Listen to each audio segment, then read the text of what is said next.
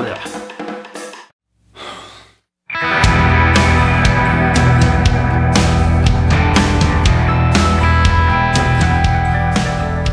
with the first album, I saved up my gig money and side projects and just paid for it that way. It took a little bit longer and we just want to get this out now.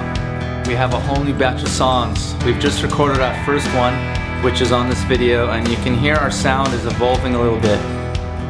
So we've created this project where you can support us. You can pre-purchase the album.